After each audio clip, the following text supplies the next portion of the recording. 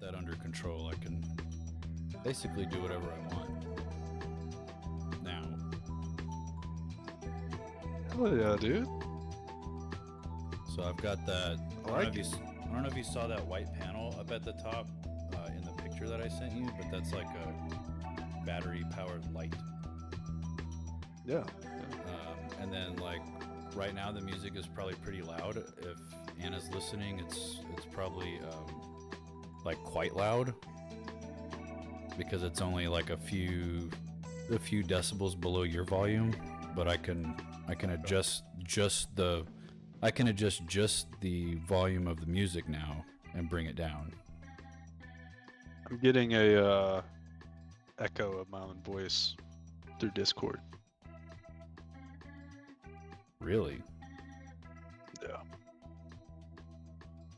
that shouldn't even be possible. It's like right when I first start to talk, I'll get a quick pitch of my voice. But uh, It's gone now. I'm not hearing anything at the moment. It's really strange. So yeah, I've got the music down kind of low. I've got my mic not quite to the peak, but it's I mean it's pretty loud. And then when you're talking, I think I've got it pretty much under lock and key. But um anyways, just to kind of some of the changes that I made was um before before like uh, let's see if I can get my mouse. Okay, there's my mouse. So before this, the the my camera was literally uh, the only thing in OBS that was that was on there. Everything else, I literally like I would drag your picture as a picture onto my desktop for the OBS to capture it, and like that was it. That was that was how I did this. And right now, the only thing that's being Yeah. captured by OBS physically that I can manipulate is the is the slides. Everything else is um, everything else is virtual through OBS, which I think is a lot easier for me. I also have a hotkey on my mouse to mute myself whenever I cough. If I remember to do it. Sweet. Yeah. The the trick is remembering. Uh, and then I I'm- actually I'm sure that'll still be a struggle. I actually have um, only a portion of this monitor streaming out right now. Um, so I can actually read your notes without having to like look way over here or look down or whatever. Like the Yeah. only time I really need to look away at all is if I'm adjusting a volume control or something, or if like we get disconnected on Discord and stuff like that. So, um, like I feel like this is, I feel like this is a lot easier for me. I, I'm in, Yeah. I'm enjoying the the setup better, and I kind of want to. I, I need to find something to put um, in this this area right here. Like for now, I defaulted to like a little text file that shows. Um, I have a little text file where I keep track in each episode, like how many scenes from the book that I notice, and I can update that live and change it. And then um, total dark friend count, black object count, and any forsaken we see. Like I'm just trying to find some things to do visually, just so like while we're talking, Yeah. you know, like if you have a, I don't know, I'm just throwing shit out there basically to see what sticks. Okay. Um, so let's see that that first slide was was kind of a wild intro because I have like you have no context going into it. It's just Rand wakes up and he's like killed everybody. Away we go into episode two. Okay.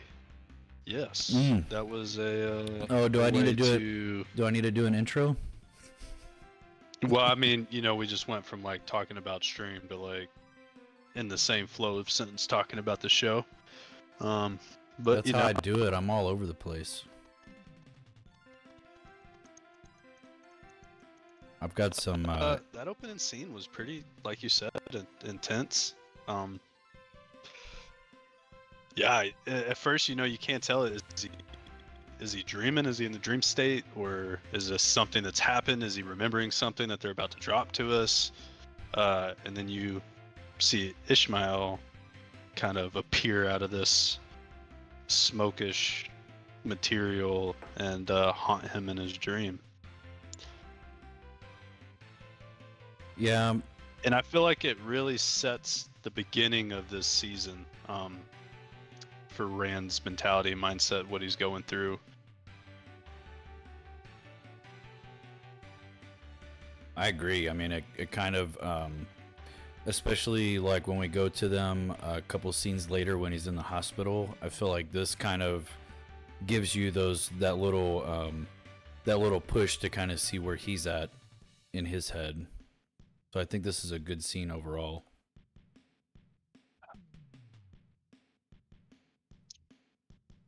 Um, I think I think I need to point out just for my own sanity's sake that I think we talked about this in like episode one of season one, where we're talking about um, the physical relationship between Rand and Egwene, how that wasn't really a thing in the books, like that never happened, and um, Selene Selene is they're like they're obviously physical in the show. I mean, it's very it gets very intimate and and even a little spicy. And I, I just I want to point out that Rand was never physical with either one of these people in uh, in the books at all. And on a side note, while I was skimming, do what? I was just saying, really, that they were never physical. I think I think your internet is like bogging down with so much right now that it's kind of glitching out at moments, Mm-hmm. and I'll get like a an echo of my own voice. I'll it'll have you talking, and then I'll respond, and then I'll hear my own voice. Um, but I was just listening to you talk about how they weren't physical, and that was pretty shocking because that is the complete opposite of what this show portrays. They are not shy about Egwene and Rand's physical intimacy in season one, and right off the bat, they're jumping right into the sheets in season two with him and Selene. It is uh and I feel like they even use that in the show to draw tension because they'll show this scene with Selene and then the very next frame is uh Egwene and Elayne walking. So you get Rand in the sheets with Selene and then next frame is Egwene. Yeah, that's that was kind of my that was kind of my point is that they're they're very physical um with Rand and that it just it doesn't happen. It's it's um in the books it's very specific who Rand is physical with and it has consequences. I I mean I can't go into it any further than that, but it's it's a that's that's part of the plot. So them adjusting that kind of plays into some potential plot problems, and that was, you know, I, do I care that they changed it? Not really. I mean, it's just it's just something different, but it does it does create maybe plot problems that the writers hopefully think about. Uh, the other thing is Yeah. is uh, Rand and Selene in Cairhien doesn't start until halfway through the book. So they've basically skipped from the end of the Eye of the World all the way out to all the way to halfway through the book. I don't I don't know if that matters, but like I I understand the readers fresh like readers that watch the show are probably frustrated that you know literally half of the events were just chopped right out. Yeah. Um, but I With Sorry, with no no you're fine. Yeah, so just watching the show uh, this being the second time through, you know, I kind of know the pace at what the season's going to go. I can see why they would pick the start right here because adding, if they started halfway through the book, adding all that backstory of how Rand got there, how he met Selene, you know, how he ended up in the, I don't, I guess it's an insane asylum that he's working at. Um, that seems like it would take a ton of time with a lot of moving parts to develop in this show. Um, would I have liked to see it? Yeah, I would have. Yeah. I don't know how they could have done it. I mean, I feel like they, they need more episodes. I don't feel like that's a realistic expectation. Um, they're not gonna just, you know, hear people's complaints and be like, "Yeah, we're just gonna double the budget and do twice as many episodes." Um, but I did feel that way whenever I watched it. I was kind of I was kind of left confused. I was like, what happened? How did he get here? I was he's uh, obviously got all these relationships. He's dropping, you know, the coin in the little boy's hand and you know, getting I don't know what it was, a tortilla or a falafel or whatever tossed at him from some guy. You know, and you're just like he's got all these obviously he's established in this city here. People know him. This is his routine. You know, how did we get here? Um but a question that I do have that you kind of glossed over I don't want any names, but up to this point, let's say half halfway through book two, has Rand been physically intimate with anybody in the story thus far through the book? Nope. Nope. I didn't think so. Okay. Well, they got him slinging that thing out here in this show, so Yeah. He's uh you could even say he's slinging the dragon. yeah. Pun intended, my friend. Yeah. I uh I do like that you caught on that he's established here. I think that's important to what the show is trying to do and him being familiar like with the kid here and Mm-hmm. um, being concerned about the guy that he's taking care of in the hospital means that he's been there a while, right? I mean, he's he's been there Mhm. long enough to get familiar with things, build up a little bit of income. Uh, you know, the guard just kind of waved him in. He just a cursory check of his tag. He didn't really have to fight to get in or anything like that. I think all that is is the show trying to say that he's been here a while, and I think that's good. I also think that the show can always do a um a like a flashback of him and you know the woman meeting. Her name is Selene. I'm, I know you know that. I I just uh, already said it, so it's too the the cat's out of the bag. But you know he's already he's already with Selene. He's intimate with her. It's a fami- a familiar enough relationship that that she knows he's having nightmares you know, I think all of that points to he's been there a while and with this person for a while Pretty- and and they can do a they can do a flashback to they can do a flashback to show how they met if they if they wanted to. Um if they follow anything from the book they would need to show the flashback to answer some questions uh of the the events between uh, the season one finale and right now, and they would need to rehash that a little bit for events in the book later on if they choose to pursue that. You know, we we've already talked like we don't know where the show's going to go. It's kind of up in the air. Yeah.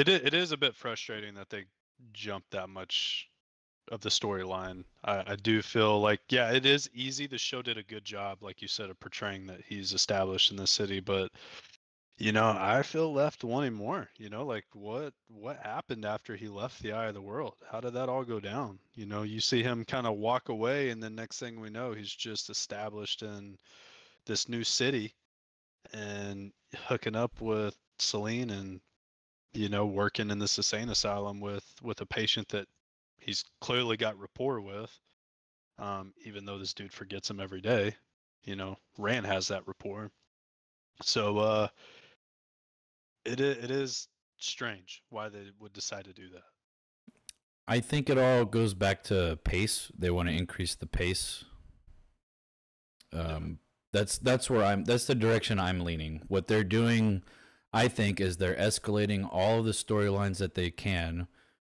while still trying to capture at least some of the core plot points of the book. And what I think they're going to do is race all the way to the very end and then try to fill in like okay so they race to the very end and then while they go if they have any screen time available they'll fill it with flashbacks of of things that were left out if that makes sense yeah mm-hmm. um so i took this screenshot mostly because i couldn't remember how to spell Cairhien uh, but I, I like it. It's not it's not quite the way it's described in the book. This is screaming like we don't have enough money to build this, so let's you know let's just do this. But they are showing that the towers are being built, and the the city itself is described as like the topless towers of Cairhien. So this is looks like they made an attempt, and I you know I thought it was pretty good. Maybe if you were standing down here, they would look enormous. I think just this shot doesn't really do the the set enough justice. It's supposed to be enormous, like poking into the clouds almost. Oh wow. Okay. Yeah, they're I mean they're enormous. Like really really tall power wrought towers. Like they had Ogier come out and build them and they're supposed to be freaking huge. Yeah, that's definitely a uh, not not that.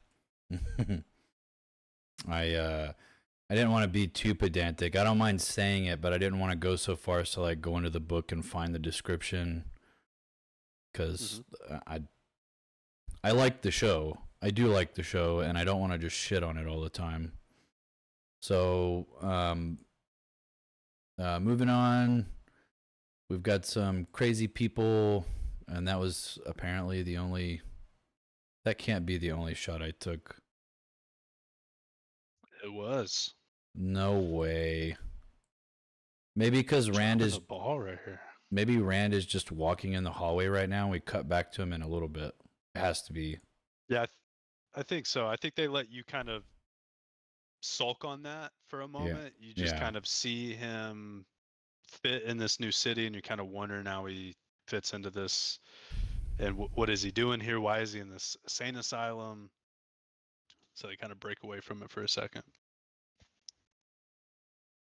right so uh, the nightmare that he ha- had with uh, with Ishamael and the chick asking him you know was it another nightmare combined with what we heard at the end of season one you know he's in and looks like he's in some kind of asylum and he gets uncomfortable when he sees people like manifesting that. And then we cut over here to um, to Moiraine.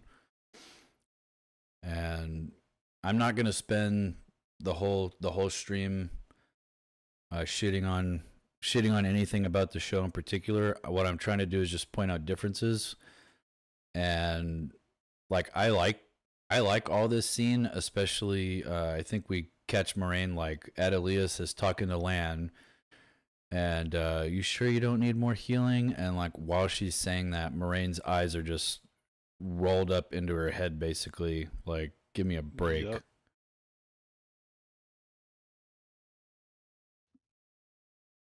Yep. Um I I have I think I've kind of talked about some of the problems with the way the show is dealing with healing I don't know how it could create a plot hole, but this is this is one of the things, uh, along with like the healing without having to touch, like Nynaeve did when her in her big burst of power when everybody was like dead. Uh, this is the other thing. If you get healed in the books, at least it heals you all the way. There, there's nothing wrong with you afterwards. There's no such thing as need more healing. You're either healed or you're not. And um, I suppose there is a case where someone could modulate the healing, but the expertise of the Yellow Ajah is not present here with Moiraine, if that makes sense. Like they're off somewhere. like a, a healer that could control it enough to, you know, maybe save some of her strength to heal somebody else, and they heal two people a little bit.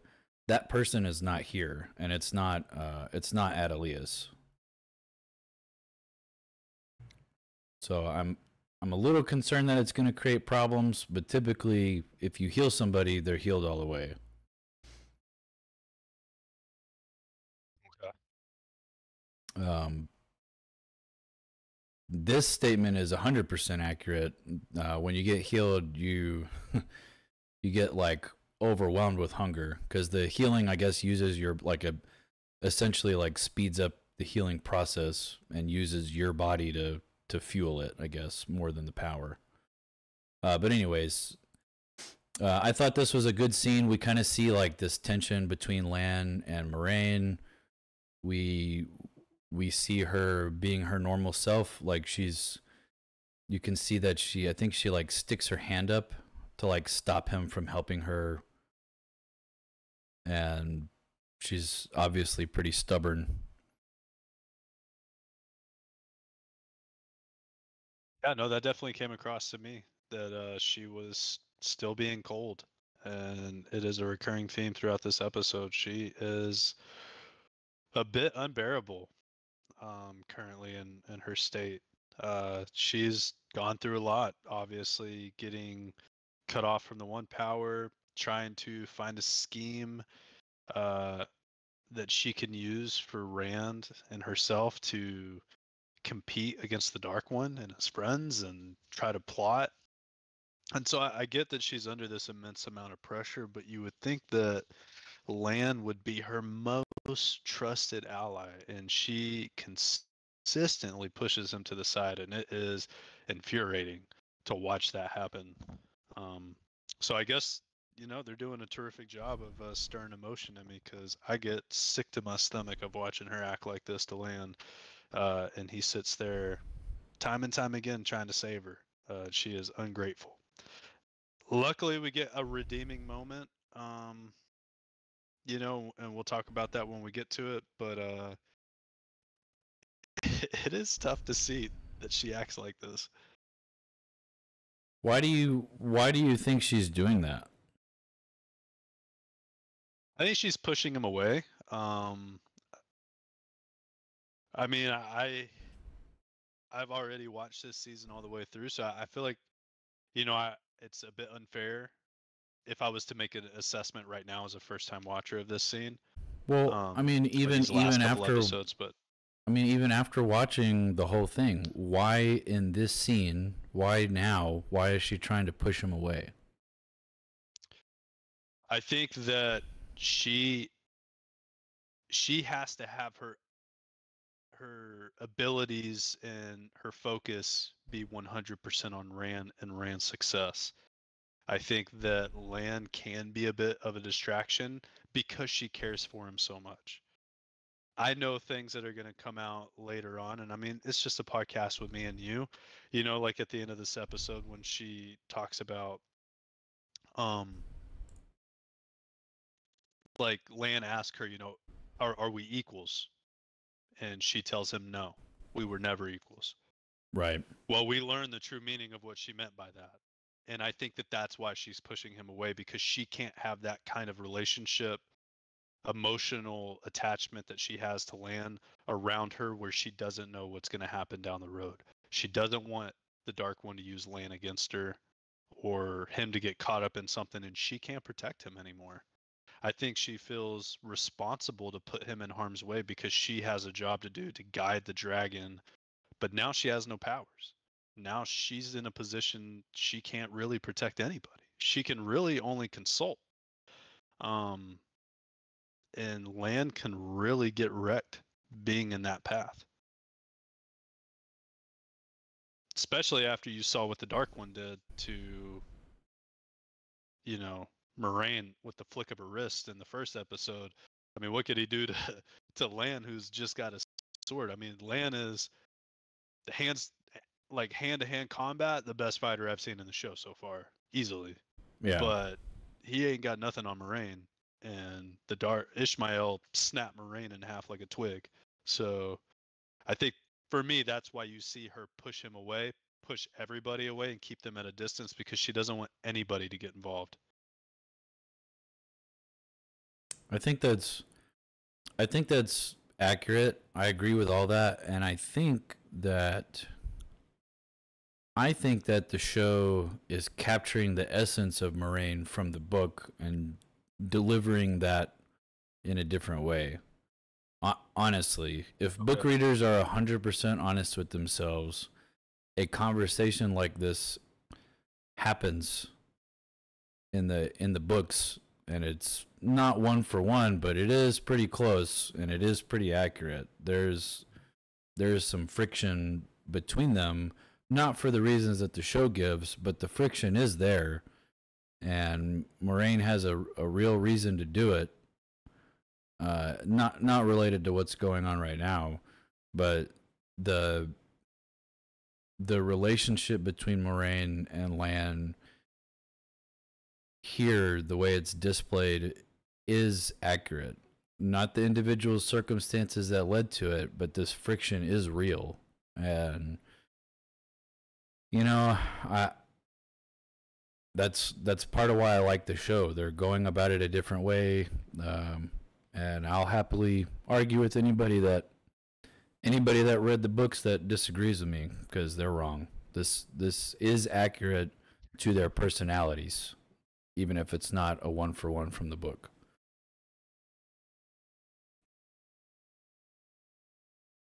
Um, I try to capture um, Uno cursing whenever possible.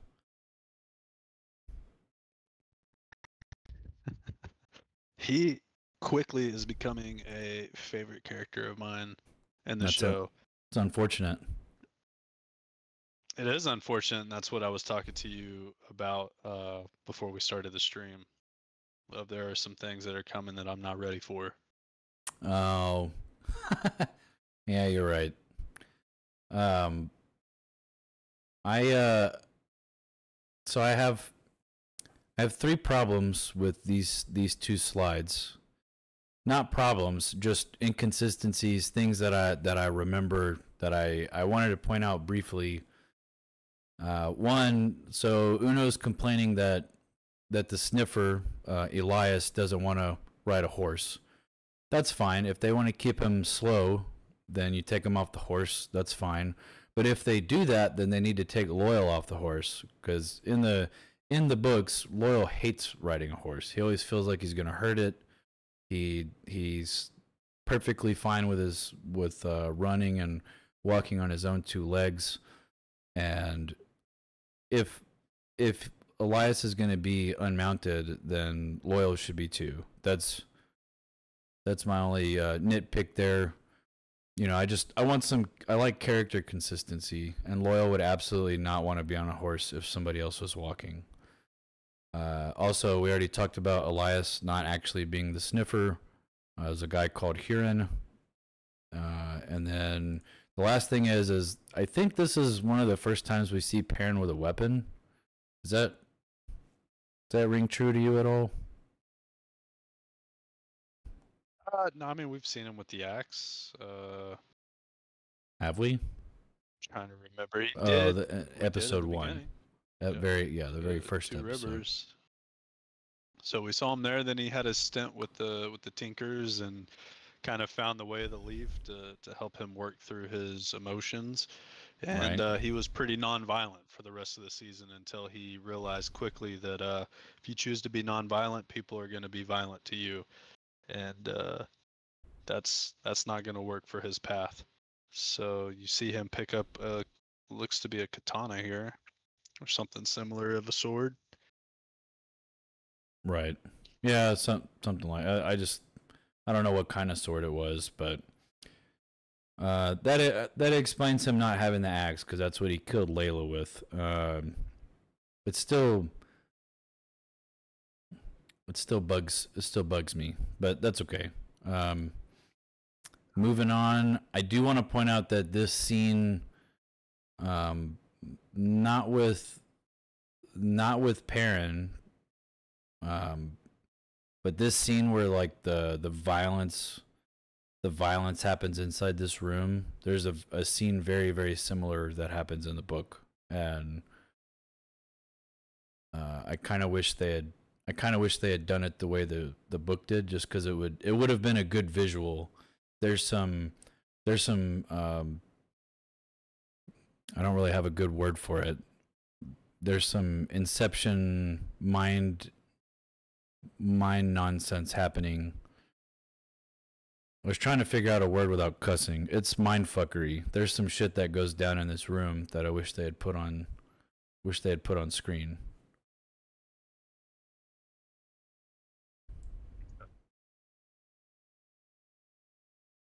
Uh, and then I think there's some some tension between uh, Perrin and Perrin and Elyas, and then then we found this the fade nailed up against the wall. That was pretty wild to see on screen.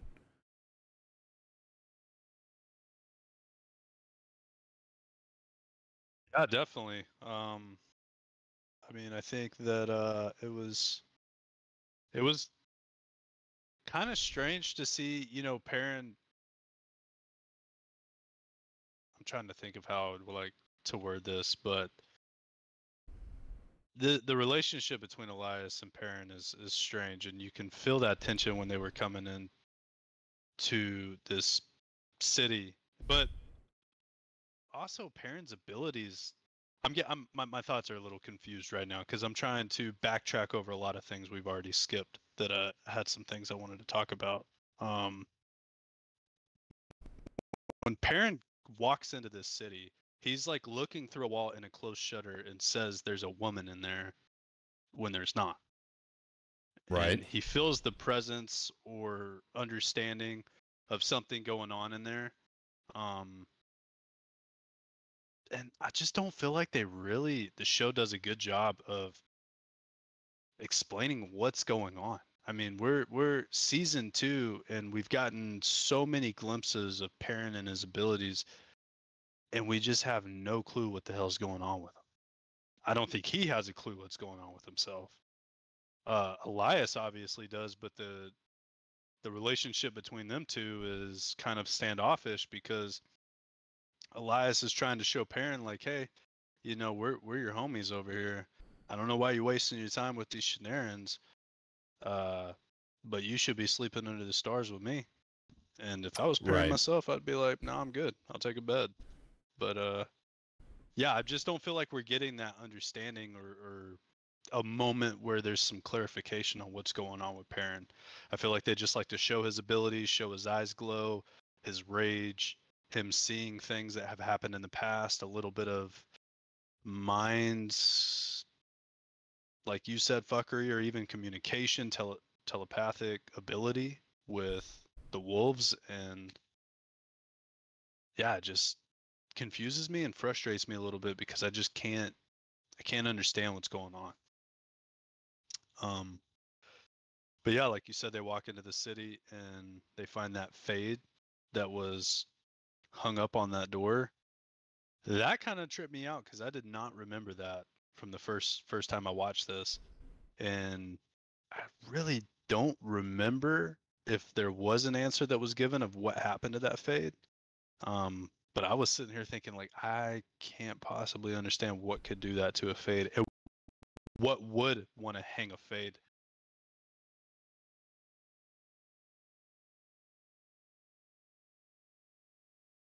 Unless no. No, I don't think it would be the people that come at the end of the episode that do it. I'm Mm, blanking on their name. I think. Sorry, go ahead. Oh, the Seanchan? The Seanchan.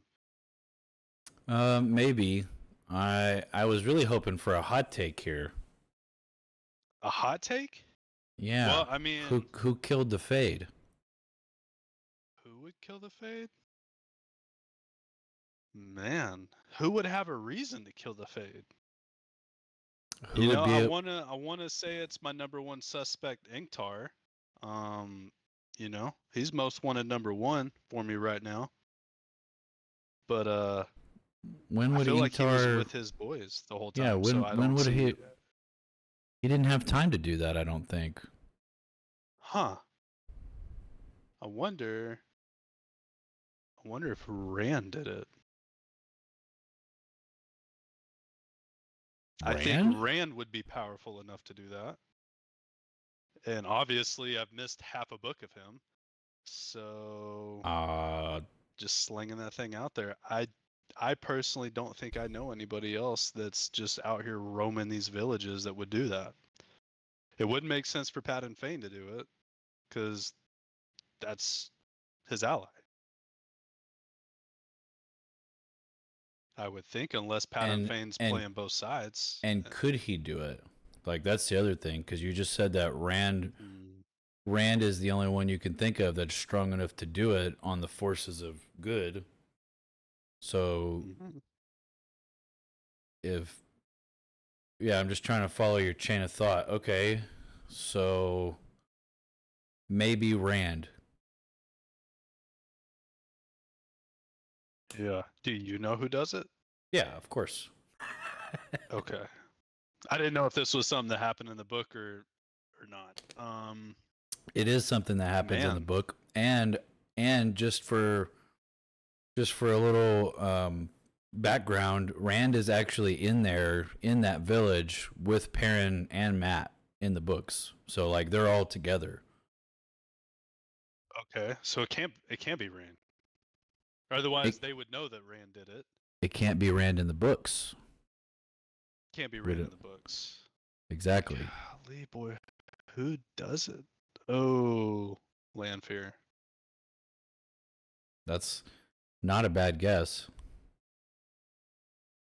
It's not a bad guess. That would make that would make sense to me. and you said that Perrin saw a woman, Yes. like you said that five minutes ago. Yeah. So did he see her in the show? I didn't. I didn't really see a woman. I, I think I was writing a note whenever I heard him say that. I don't remember seeing a woman. I just remember seeing him look at a wall and a closed door and say, "There's a woman." Then Perrin walks in here and sees, you know, this mind mirage that goes on of, of previous events. I assume that was the woman he was referring to. Um, But if it was Lanfear in there, who was waiting for them to come, this I figured it out. It's Lanfear. okay. She's He- ahead of them, waiting for for Rand to come into her, come into her trap, clearing the path for him, so to speak. Okay. Well, he Perrin does see a woman. Uh, we don't know that it's a woman, but we see like a shadow pass in front of the shutters uh, on the second floor. Okay. So we do see something. Um, and so okay, so you're saying that Lanfear is what hurting hurting Perrin and these guys somehow Yeah, by I killing. like guiding them in a way. Uh, now, if I was to make that assumption off the show, I, w- I wouldn't understand that because obviously Perrin and the Shanaran they fall in the hands of the. Give, give me those guys' name one more time. the Seanchan. The Seanchan. Yeah. God, is I feel like I'm in Spanish class right now, just like studying vocab. There's so many names, We could uh we could pull up the cities, and people to remember. This is a lot.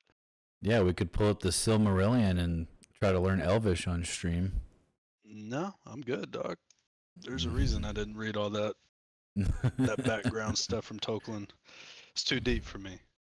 Um, but yeah, it would it would make sense in my head if I'm just thinking this out. If Lanfear Lanfear was to go ahead of them, and she wouldn't want any obstacles in her way between her and Rand.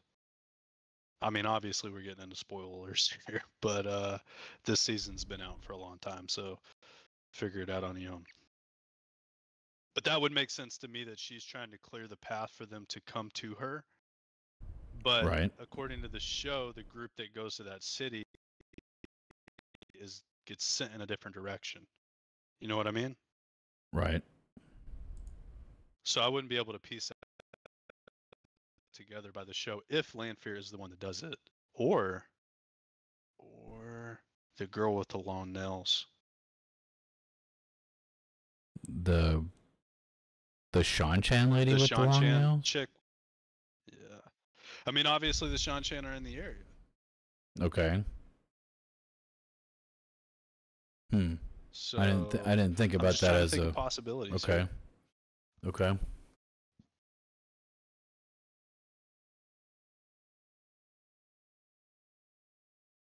I I don't see how the Seanchan could do it because they're pretty like even in the show they're pretty uh bold about like where they are and what they're up to. You know what I mean? Like they Okay. like does that make sense? I don't think I don't think subtlety really uh comes into play here. But I mean Well, any, okay. anything's possible, but that that's just my take, just based on what I know about the Seanchan. They're not, they don't really, uh, they don't really do subtlety very well. well, for me, it makes sense that it would be Lanfear or somebody of that kind of capacity, like a Dark Friend or Okay. a Forsaken, because anybody on the side of good that's strong enough to just hang, you know, an eyeless like that, it. I, I just to me, I don't think anybody's even in this realm, this area right now. Um, and I, I feel like they would have come into contact with Perrin by this point, Right. and so it makes me think that it's got to be somebody on the dark side but who would have the motivation to kill one of their own? And that's the confusing part and for me it would only be Lanfear. i don't know too much about Padan Fain from the subtleties that you're giving me. It makes me he's not strong enough to do this so i'm kind of out on that. Plus i don't see his motivation. But if I know from the book's perspective that Mat Rand and Perrin were all here, Lanfear would have motivation. Okay. Yeah, I I follow what you're saying. I, I rest my case. Okay. Hot take. Hot take episode two. Lanfear kills the fade. I'm gonna have to record that somewhere. Yeah. Now, now I just want to know if that's true or not. I mean, do you really want to know? like. I mean, I've seen all of season two. I, mean, it's not really a big deal in the grand scheme of the story. I know how season two is going to play out. So I mean, Ah. let's, let's see. Was was a hot take right or not? My hot take was not right.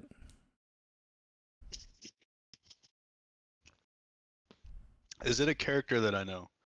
Yes. It was the. was was it the was it Elyas? No, we're not playing 20 questions because then you could just ask who did it. Yeah, Uh, who? I mean, who did it? I mean, in the books, Padan Fain did it. Padan Fain did it. Okay, this dude's a savage. He's a sneaky. He's a sneaky one. Yeah.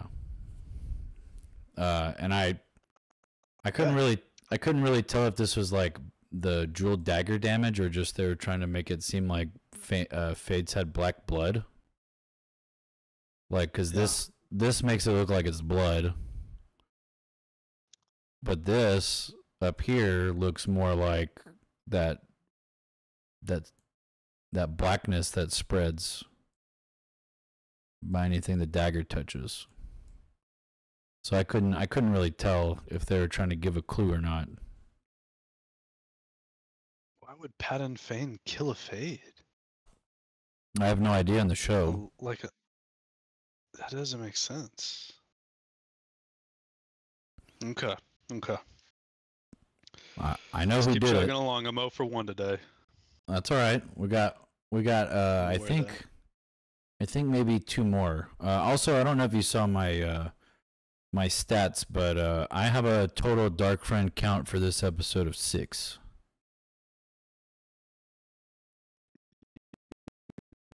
Seeing six Dark Friends in this episode? Yes. Okay.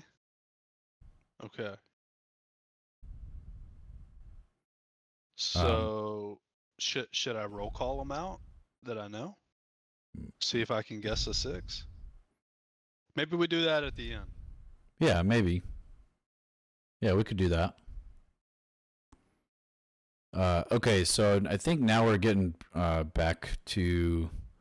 This is back at Rand, where we find out that he's clearly like in some kind of asylum, right? The the guy he's talking to thinks that Rand is an Aielman, and he's he's reliving the Aiel attacking Cairhien and punishing them for um,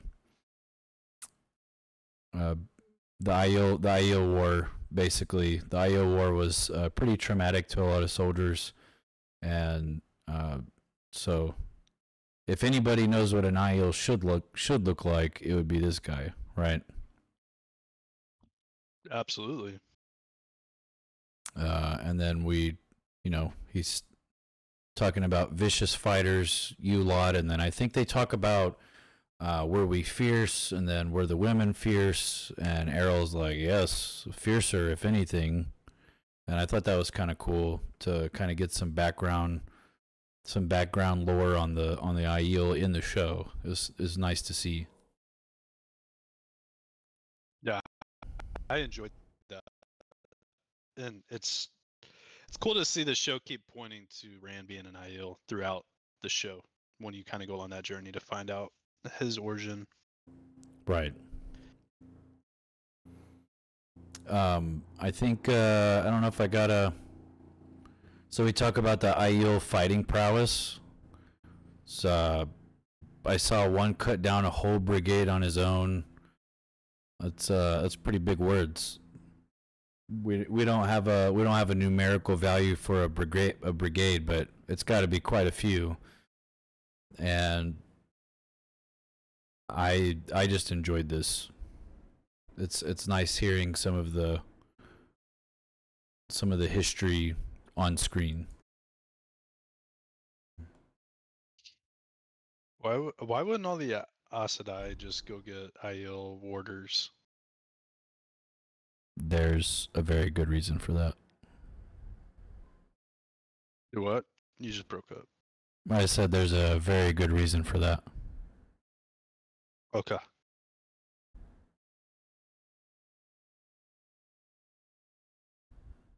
Um, but anyway, we also find out in this conversation that um, this guy Errol is a uh, sword a sword master, a blade master. You know, I think he name drops the Heron Mark blade, and uh, and then Rand is like, "You could teach me a few more forms, right?" Which I thought was I thought was cool, and then I made sure I took a screenshot of some of the at least one of the the sword forms, parting the silk. I think uh, uh, apple blossoms on the wind is one. There's there's several. I mean, there's a whole bunch. And the barley? Yeah, reaping the barley. There's, I mean, there's way more than just the ones that he mentioned in the in the books. They're Yeah. everywhere. Every time there's a sword fight, it's all done with uh, imagine. Uh, you're using your imagination based on the the sword forms. I like that. I I like it too. Vi- like for your imagination, you you do um you know your your brain kind of fills in the gaps. So like in the books, they're like uh the the heron the heron strikes the trout or whatever, and so in your in your mind, you're imagining like a sword stabbing downwards or something like that. And then now, whenever you read a sword fight and they're mentioning all these forms, your brain just kind of constructs that sword fight based on that. And I I like it. It's better than he swung his sword at a 45 degree angle, uh, aiming to cut the the right hamstring or whatever. So I I like that. We also find um right before this, he you know, he's down on the ground, he's upset because that guy Yan, I guess is his name, is uh tormenting tormenting this guy, which I didn't think was very cool.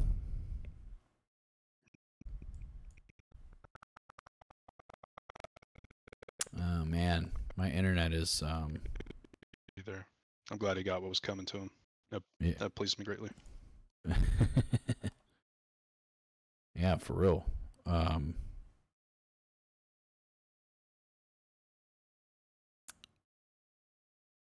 I am having some serious internet problems. Either that or my computer's melting. It, is a struggle. You are consistently uh, breaking up on my end. That's unfortunate. It is. Uh, I'm trying to pull up your next page of notes. I don't. It's not letting me. Um. It's not letting me switch. Yeah. So I could just uh, name off what's next on the on the board. It was uh, Liandrin and her and Nynaeve are are together. You can kind of see she's trying to not not train, but maybe take Nynaeve as a apprentice, so to speak. Um, that stood out to me that they had kind of had that big clash, and maybe that's kind of what Nynaeve needed to kind of break through, have her break through in the tower. Um, and it sucks because you don't want Nynaeve to team up with Liandrin, but it's happening. Um, but yeah, that was the next note that I had. And then I'm not really remembering this screenshot that you have right here. This is right before what you're talking about. Okay. Uh, I think we're just. I think Egwene walks in and is basically like looking for Nynaeve. I think that's the only purpose of the scene. She walks in and she's just looking for Nynaeve. Because then we have here. Um, this is uh, the scene right after what you were talking about, where uh, I think Liandrin is taking Nynaeve into somebody who's got a fever, like the the little girl is is sick or whatever. That's right. Uh, and I think this scene also happens before what you're talking about, where Liandrin's trying to like, almost like coach and mentor Nynaeve, which I thought was uh, interesting. It it definitely gives you vibes of okay, well, Liandrin's so hostile most of the time. What's going on here? And you know, I thought this was this was cool. Uh, this uh, this scene right here, I tried to get her where her hand was on it, but she picks up like that poison, the crimson thorn poison. And I was curious what that was for. I think we find out here in a little bit. Uh, and then I, I took a screenshot of this. This is an accepted doing healing, and I thought it was a good a good call by the show to put the colors on the cuffs. Um, the distinction between novice and accepted in the books is these colors are in like uh, circular bands at the bottom of the dress and i feel like this is a better call Hmm, it's more distinct and i think it visually it just looks better That that slipped me. I didn't I didn't even recognize that. yeah when she's doing the healing it's got uh, gray gray blue green yellow and then on her other arm uh, is is the other the other colors. Okay. um, once again i'm you know i keep bringing it up but she's not not touching not touching to do any healing. And that that frustrates me. There's there's a good reason why i'm frustrated with it and i can't explain it yet. It depends on what the show decides to do. If, that makes sense. Like i keep bringing it up because it is a it is a plot point for later in the in the show if the show decides to pursue it that way. Um, and then I think she talks about uh, healing breakbone fever took a lot of practice. I'm not sure what she meant by that, but um, I'm hoping she's talking about just the general way to heal people. Uh, if they if they're trying to make it out to like heal a cut on the leg is different than a, a cut on the arm or a headache or a fever. I'm not sure how they're gonna talk about it, but I mean this is fine. This is all this is all just showing Nynaeve like this is difficult. Healing is difficult. And trying to reinforce that she needs to learn from somebody. Yeah, I agree. Um, and then I think this is the scene you were talking about. Liandrin actually like, gave us quite a bit of um, quite a bit of like lore for the Ajahs. I think she talks about the Grey being uh, diplomats and the um, the Browns being like historians and like the the whites being like the people who think logically. Like that she kind of goes into a few of them. And i think she talks about the yellow being the healing Ajah Definitely see a different side of Liandrin right here, and I feel like she's, you know, putting on a bit of a face to try to suck in Nynaeve, you know, into her little web of uh, bullshit. yeah and Nynaeve is Nynaeve seems to be thinking about it she's not yeah, she's soaking it up right now. she's she's not as hostile towards the Liandrin as when they first met or as hostile as she is to uh, Moiraine. right Even with all that they've been through, Nynaeve still keeps that wall up with Moiraine. that's book accurate is never just like I feel like relaxed around her.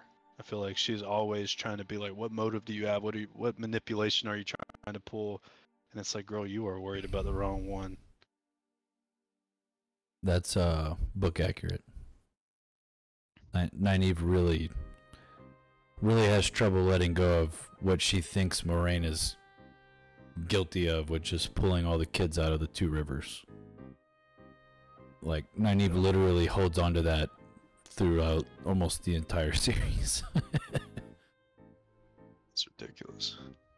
Yeah, but here I, you know, I try to get uh, the actresses do such a good job of their facial expressions. This is um, right after Liandrin gives her that speech, and you can see she's not mad, she's not happy. If anything, she looks um, confused about what's going on.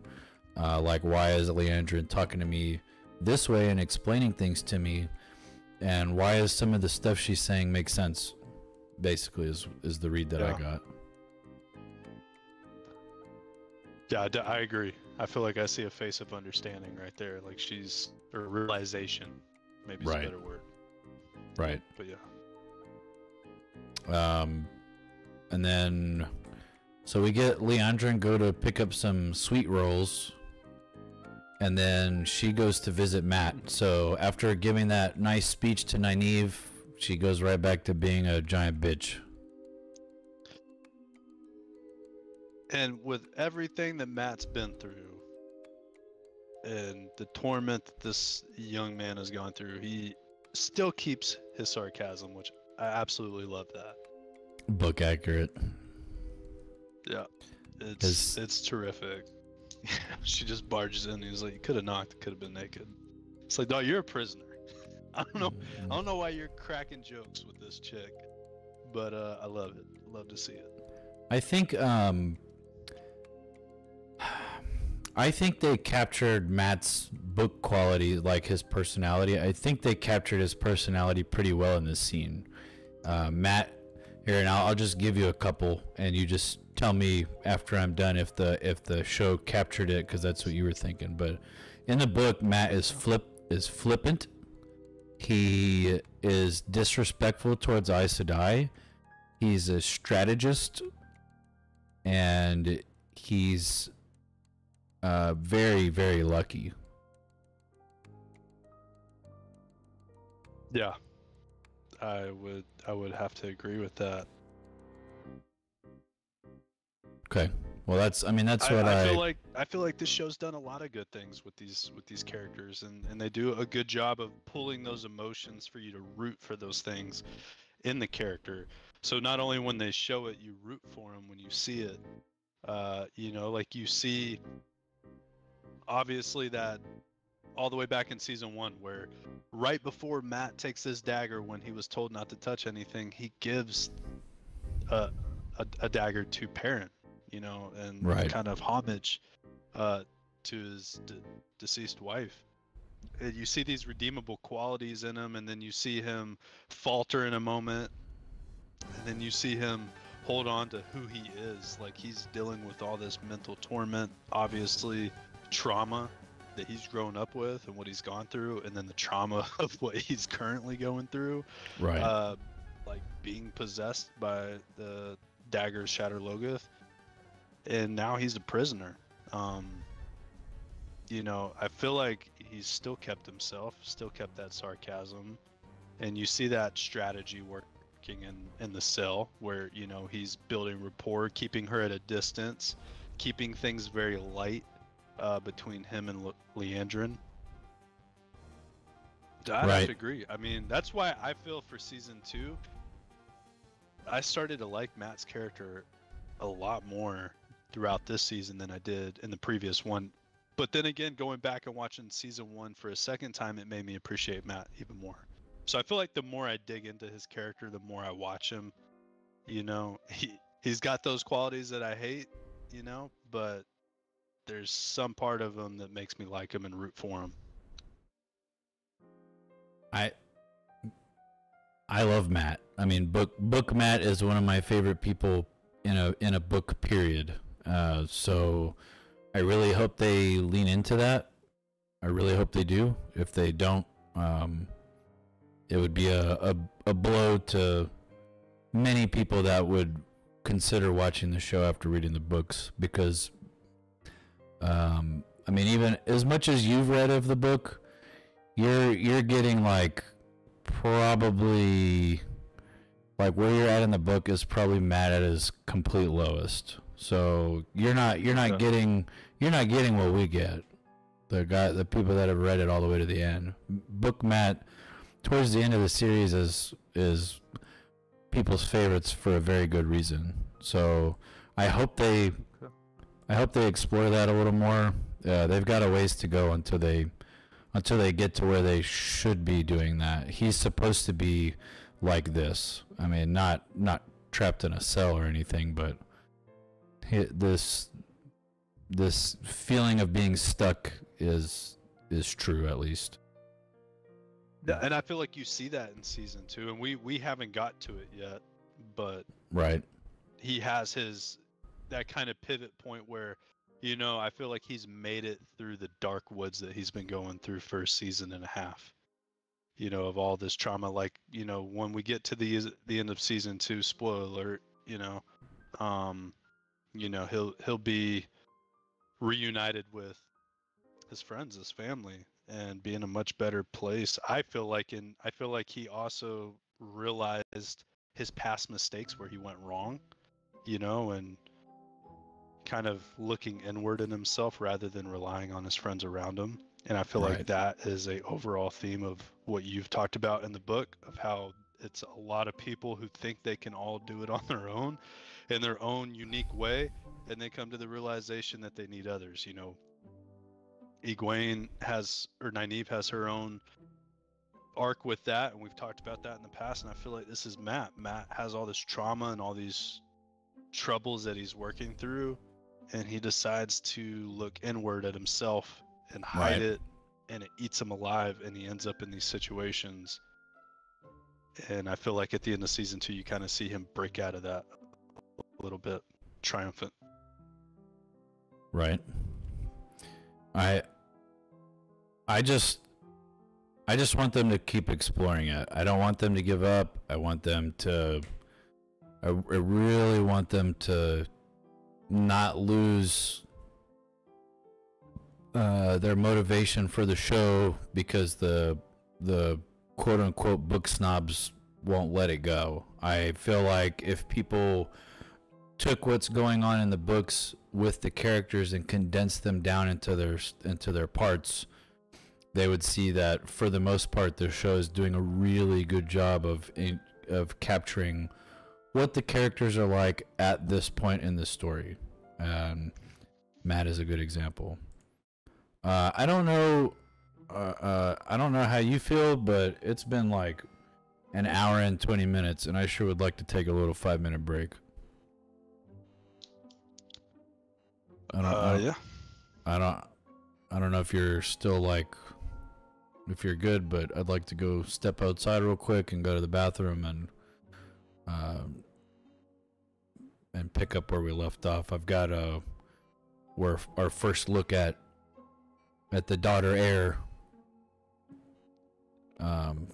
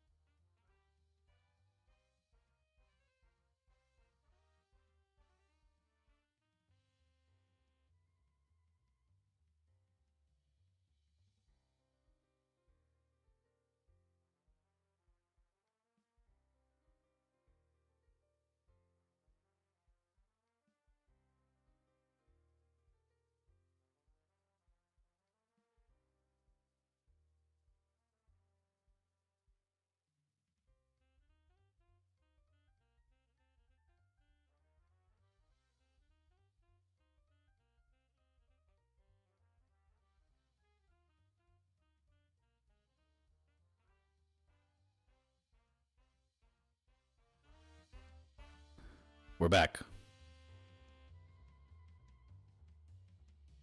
Really had to pee. Uh, okay, so this is uh, Egwene and Elayne. I don't know if you have anything to say about this. I just thought it was. I'm just trying to take screenshots of like every scene I see, basically. Yeah, I mean, in, in the grand scheme of things, no. Uh, not not with her first appearance. I do think it's notable to to kind of just point out. Um, but Yeah. plot wise, no, I don't I don't see the significance. Yeah, we we can uh, we can skip we can skip ahead as much as you want. I mean, we already have a freaking hour and a half in this thing. It's more than more Yeah, than I, do thought we would talk about episode There might two. have been a little bit of foreshadowing uh, that Elayne laid down. Um, and I believe it's kind of in this scene right here where they go in the room and Elayne talks about the. Elayne talks about the relationships that have been built by novices that have shared adjoining rooms. And to me, that made me think what would be the purpose of saying that?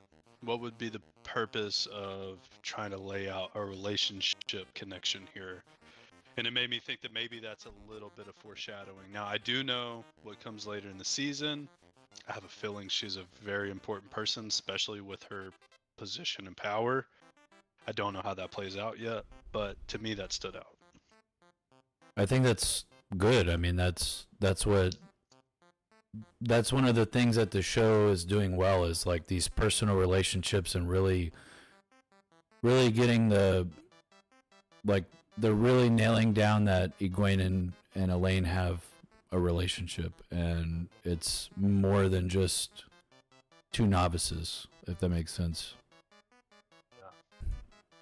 I, I think it's good. Um, moving on, I I took this screenshot because they mentioned somebody from the books that you know should show up later. The fact that they name dropped her in the show hints that she'll show up. That's uh, Cadsuane. She's uh, I wouldn't say a book favorite, but she's very important to the story. So I think this is a good hint that we're gonna see her if they can find the right actress to do it. Um, Cad Swain Melaidhrin Is she a is Shienaran? Or is she come She- from the same place she as is she is from the borderlands or at least close to it she's um oh man i can't i can't think of the um i can't think of the town she's from. Far Madding is the name of it. Far Madding is the town that she's from. And she's not from the borderlands i don't think. I think Far Madding is a little further to the south but she is a she's from that area i guess that region. I'd have to pull the map up. I just looked at the last name and thought that it sounded familiar to some Shienaran last names. look at you go I'm learning. I, I was practicing my words. All right. i've only heard a couple uh, mispronunciations that are going to make it to youtube so I'm I'm working on it, man. I'm trying Ah. to be better. yeah um I'm, I'm basically like learning two other languages currently between college Spanish and this series. yeah I'm I'm doing like 200 vocab words a week. holy But shit uh, this right here, I think it comes up in this scene is a name that I don't think it's going to be something you bring up, but it's a question I had. Mazrim Tame, Tame. Yeah. Maz- Mazrim Taim. They pronounce it different ways. I don't remember exactly how they pronounce it in the show. That's the first time I've I feel like I've heard him name dropped. Right. Um, when they're talking about the false dragons, and I don't feel like I've ever seen him. um, Uh, n- no, they we don't have him on screen it? yet. Okay. Somebody somebody sketched him because I googled him just to see if maybe he was on screen yet and had an actor, and uh, somebody like put some sketch of Ingtar for him, and they were like, "This was my sketch of Mazarim." Yeah, he's from he's from um, the Borderlands as well. Okay. So he's he's uh well I can't, we can't really talk about him uh cuz Yeah. It hasn't really been brought up. I don't even think they bring it up towards the end of this the season. No, I don't But- think so. Right. Uh, so I don't want to get into it too much. Uh, it's too hard for me to get into spoilers if I start talking about him a whole bunch. He's He's kind of gonna Be a important. battle between the dragons. Battle between the false dragon and the real dragon. okay. Yeah, that's that's probably that's probably not a bad uh, a bad hot take. Probably not bad. Yeah. Because this is this is the same Mazrim Taim is the guy that they mention at the end of season one. Like there's another false Yeah. dragon in the south or whatever. Mm-hmm. And it would make sense for the Forsaken to support this false dragon. And or ally with him to hinder Rand. I'm, Okay. I'm gonna think on that for a little while. Okay. I like it. Uh, I don't know if I like this scene in particular, just because Aes Sedai typically wouldn't be arguing with each other in front of their warders. As close as the warders and the Aes Sedai are, they don't typically, um, they don't typically let the warders like witness two Aes Sedai arguing with each other. It's not, it's not polite. And I think they actually address it here in just a little bit. Uh, also, like Elayne trying to decorate her room, I was like, well, that's not that's not accurate. And then we it gets fixed and makes more sense as you watch the episode. Um, but here we have, I think um, Nynaeve is looking for Liandrin, and then I think she follows her down this tunnel. Um, I mean, none of this is like super relevant. I just these are just slides that I took. Okay. Uh, I think maybe we passed something. What's that? a couple things that I wanted to talk about. Um, Okay. And it's a scene with Elyas and Perrin, and I think it's probably right before this, or either right after this, before you see Nynaeve. And I think it was Perrin trying to invite Elyas inside, and Elyas was like, "I'd rather sleep out in the stars." Oh, was it after? Yeah, it's after. Okay, I'll wa- I'll wait till we get to it then. Well, I didn't really have anything. Like this is this is really like. I mean, this is just Nynaeve being confused and looking for Liandrin, and then like sees Liandrin walking away really quick, and then Nynaeve ends up in this secret tunnel following her, and then we cut over to this new town, and uh, and then we get to the scene that that you had uh, some notes on. Yes. So Uh, right there, that scene, that makes me when I heard that I feel like Elyas is trying to warn Perrin of something. I feel like Elyas has sniffed something out in the pack that he's in. Okay. Eh, or not the pack that he's in, but maybe the friends that Perrin's keeping around him, and he's just trying to say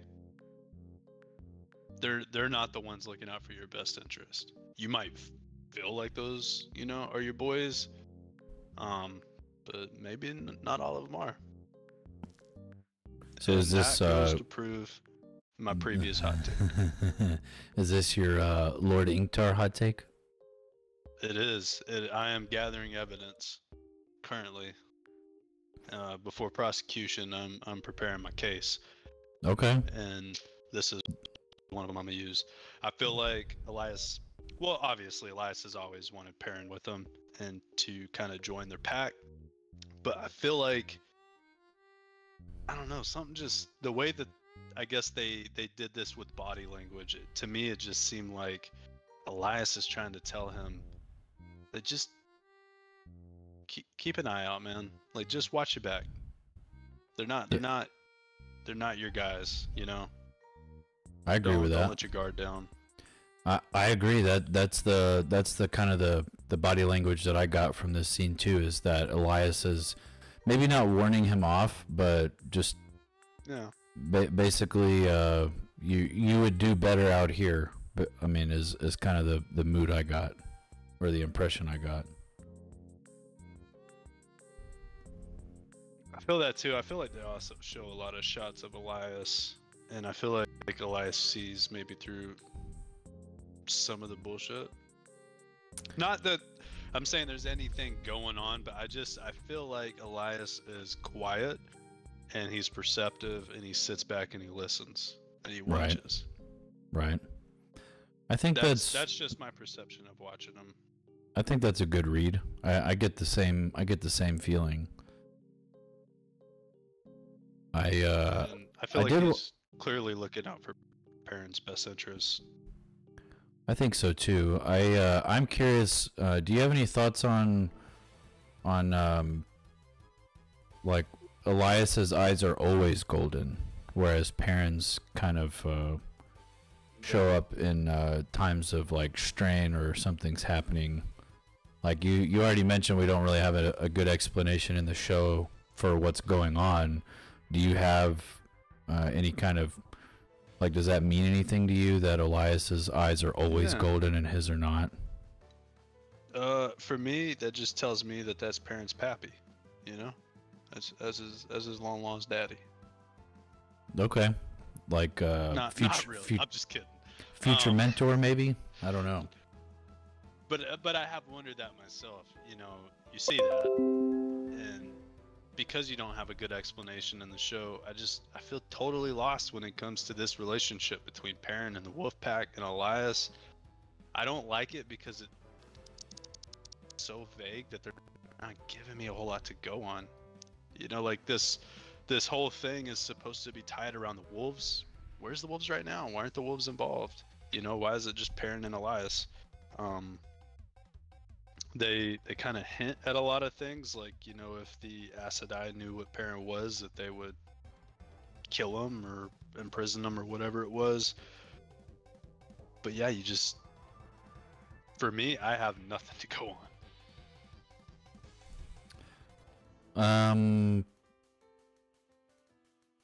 I don't know if they'll ever explain it. I mean, i- in general, wolves don't hang around villages, so I I don't. I don't think they would be walking around welcome inside a village, if that makes sense. So that could be that could be an But they've explanation.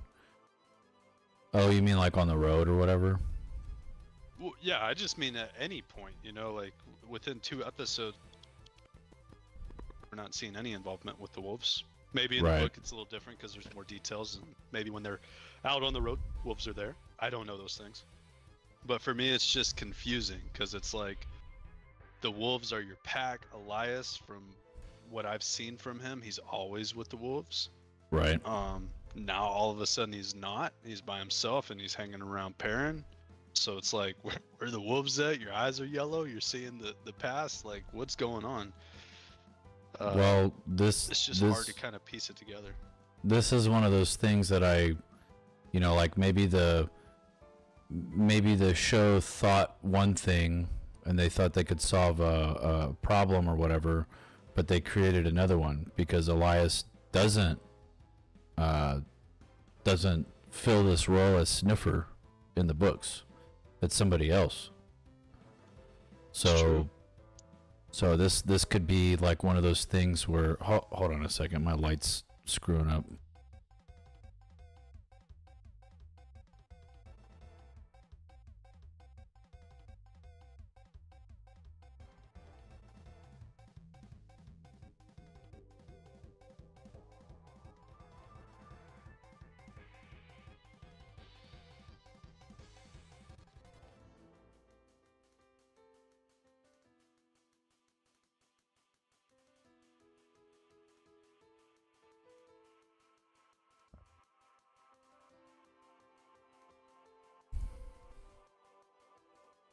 So my my little lamp that I had over my monitor apparently only has uh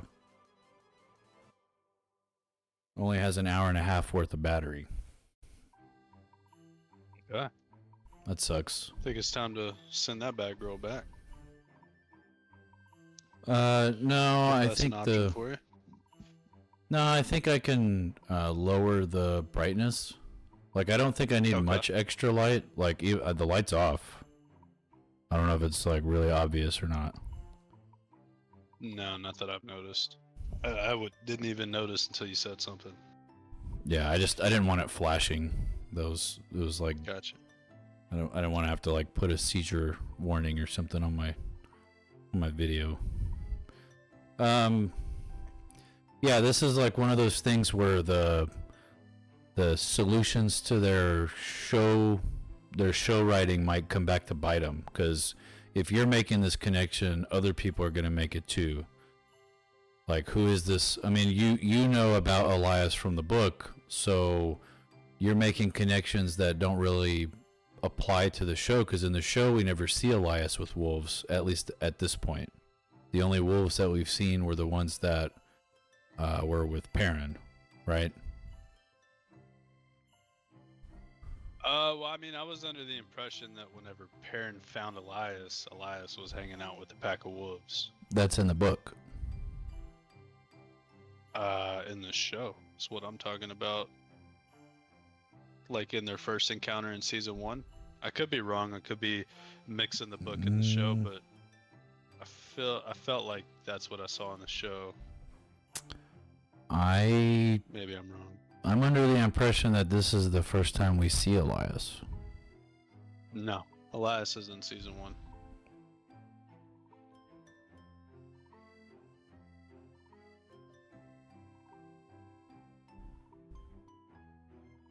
I That's why know. it's weird that he's the sniffer. I don't I don't know if that's true. Perrin doesn't recognize Elyas at all when they when they're walking with him. I think you're tripping, man. I think you're you're overlaying what happened in the books. Really? Perrin does not see Elyas until this episode. We don't we don't run into Elyas at all. Whoa. Okay. Am I going through a butterfly effect right now? Um Now, now I've got to do some research. I gotta Yeah. see what what episodes he was in. I mean, I can I can check I can check my slides.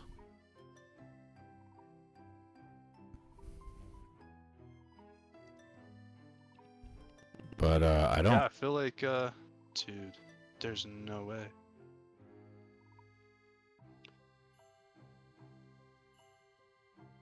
I don't think we've seen Elyas at all.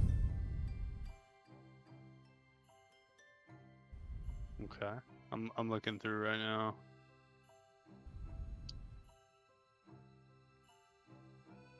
Elyas season five episodes.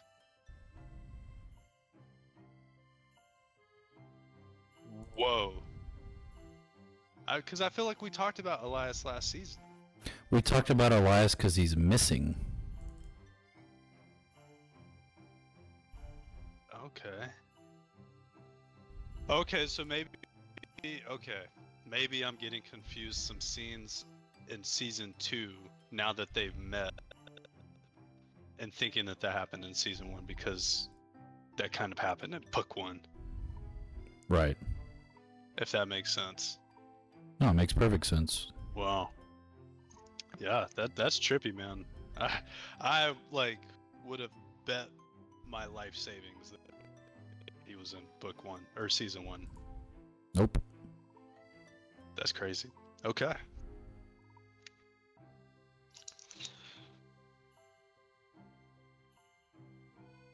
Um.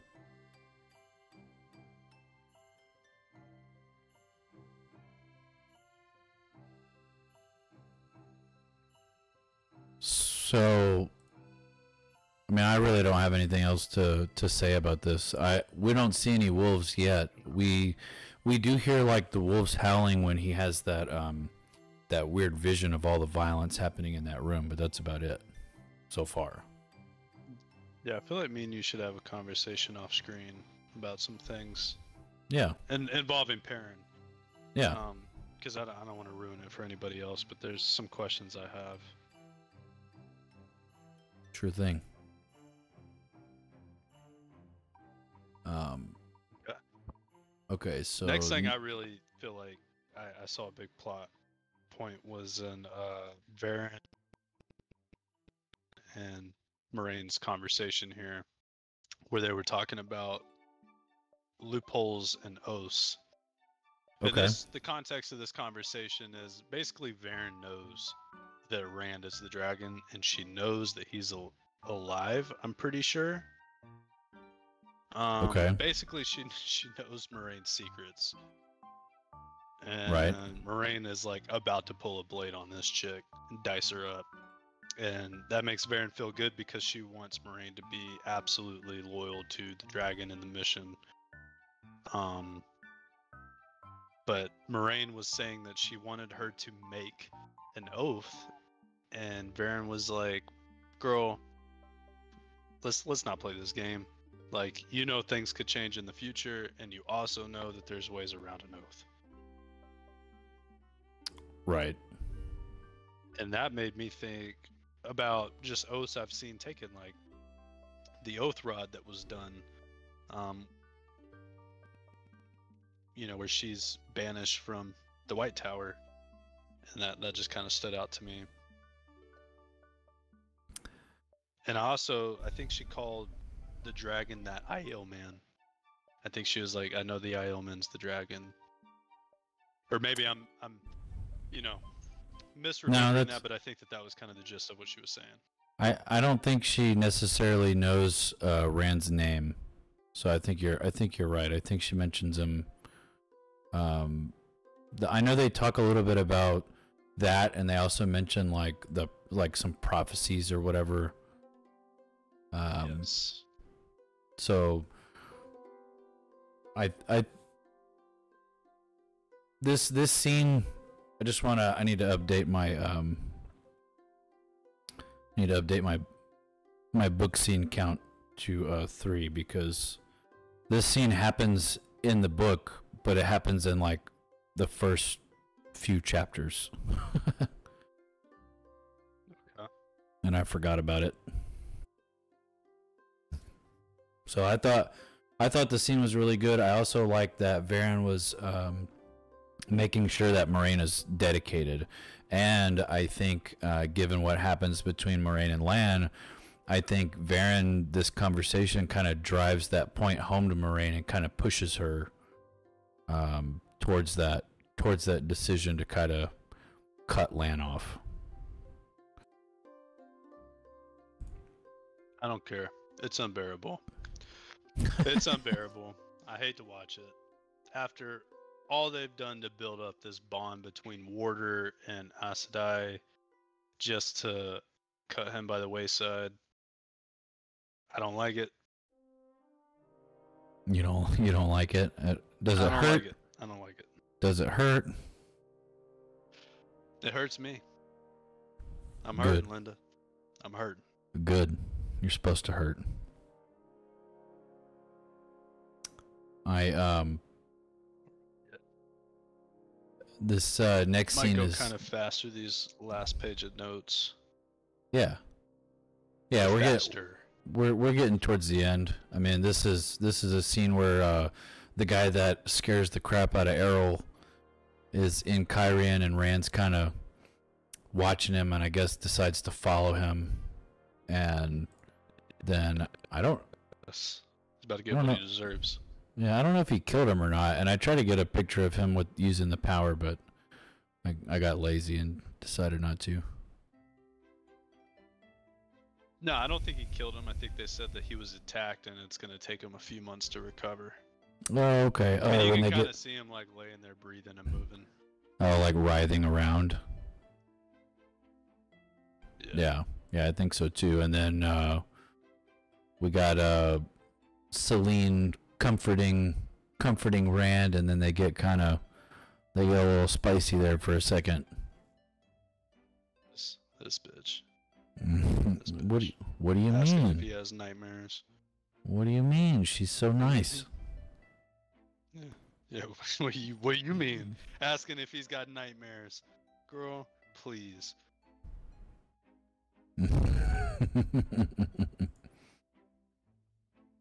um, this is a follow up to my when I when I watched the episode. I mentioned that I was a little upset that Elayne was trying to decorate her room. And here we have uh, Sheriam basically scolding her for like you like who do you think you are? It doesn't matter if you're the daughter heir of Caemlyn. Like this is the White Tower. You don't get to just decorate it however you want. Which is I think which is good character building. yeah, I mean it was it's not it's not book accurate, but it demonstrates a good point that man, I really got to be careful where I pause. She looks like she's got a lazy eye on here. Um but you know, she takes the blame for the maid. Like Sheriam gives her an out and then Elayne is like, "Nope, it's my fault." And then she takes the blame and the switching for what, 3 months is what uh Sheriam said. Uh, so she's taking a punishment because she's the one that's responsible after for it. Yeah, before yeah, not no, not even a flinch. She she just said, "I'll take it." Yeah, we'll, we'll see if she actually gets switched. Yeah, you you gonna you gonna switch? You gonna what is it? Corporal or not corporal, but like Yeah, corporal physically punishment. punish the future king or queen of your nation. oh yeah, of Yeah, course. you go ahead and do that. Of course she will. You you need to get that know. you need to get that far in the books, bro. She the White Tower doesn't give two shits about the the Andor throne. If you're a if you're a novice in the White Tower, you're suspect to all their rules. Like Fair Oh, enough. I mean, the oh. way it should be. I'm just saying. For me, yeah, be like, there's there's no once she signs up, like, ah, No, there's no- something out. I will say that the White Tower doesn't do blatant nepotism like that. Like they don't they don't take uh king's children like if Elayne couldn't channel, they they wouldn't let her in the they wouldn't let her in the tower and they wouldn't let her they'd let her train as a novice long enough to control her power and then send her back home. And that's it. Uh, so no no nepotism here. Sheriam is dead serious. She's gonna she's gonna beat this girl for months. Yeah. Um, moving on, I feel like this scene gives Liandrin some some more character development. I need to look and see what the next one is. Okay, so I thought this scene was really cool. I thought that she had poured all of it in there to kill the guy, which is basically what Nynaeve thought. Um, like to put him out of his misery, I guess. And I thought I thought all of this scene was pretty good. You know, I don't I don't remember anything like this in the book. Um, it, it might not have just it just might not have been important enough for me to remember. I don't recall Liandrin having any kind of family that was still alive. I said I get pretty old and most of their family dies. And and I think um like who did you think this man was? Who did I think it was? Yeah, does it does it say explicitly or or did or did you figure it out or what? Uh, no, I, I, I figured it out later in the season who it was. At the beginning, I truly didn't know, but this was like this is the kind of thing that I like. I like trying to figure these juicy bites out. So, I- yeah, I was on the hunt. I think it's his her it throughout the son, right? Is it her is it her son? Oh yeah, no, no, no. Actually, she does say that. She was like, she holds his face, and she was like, "My sweet My- boy, my sweet." Yeah, sweet my boy." my sweet boy, yeah. So that's her son, right? Yeah, it is her son. Yeah. That's uh, a good demonstration of like just how old. I guess they're trying to demonstrate how old the tower, how old the Aes Sedai are.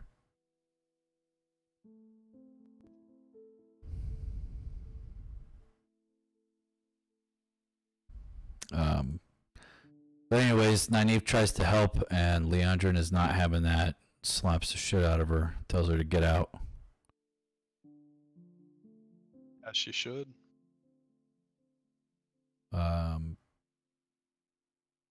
and then uh, I was, I mentioned that I watched the show last year, but I don't remember much. And this was, I forgot. I forgot that Min is at is at the tower now.